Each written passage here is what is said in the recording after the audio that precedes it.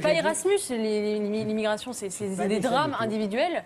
Et l'immigration n'est pas une chance, c'est un drame, c'est une tragédie. Et aujourd'hui, euh, l'Europe qui s'est construite sur, euh, comme, un, comme un- un espace commercial en- en- sur la dilution du politique, c'est-à-dire on on renonce à la politique, on ne devient juste un grand supermarché où, les, où le- tout le monde euh, peut circuler sans problème. Aujourd'hui, aujourd'hui, la non. politique Non, revient, la tragédie revient. Et la tragédie, la tragédie, il n'y a pas de bonne solution, il n'y a que des, des- des- des- des mauvaises solutions. Et là, on va devoir choisir entre des mauvaises solutions.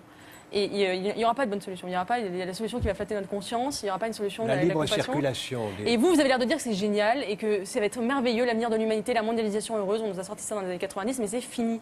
Le vieux monde est de retour, monsieur Attali. Ah Et oui, la- euh, la- le vieux monde la- est de retour. et la c'est- comme de ça. retour, Mais oui, mais c'est comme ça. Vous pouvez Oui, pas oui, faire c'est tout. comme ça. Et vous pouvez continuer à ça. faire vos prophéties, Non, non, à dire attendez. euh, ça ça va très bien se passer. J'ai jamais dit ça. Les, gens sont des nomades interchangeables, c'est pas vrai. J'ai jamais dit ça du tout et vous caricaturez pour répondre à autre chose que ce que je dis. Je dis que nous assistons au retour de la fermeture, du refus qui a conduit en 1780, en 1910 et en 1939 à la guerre. Et je le vois, et ce que vous, en- ce que vous dites montre que dans les jeunes générations, il y a aussi ce retour, ce fantasme, ce retour du vieux comme étant présenté comme le neuf.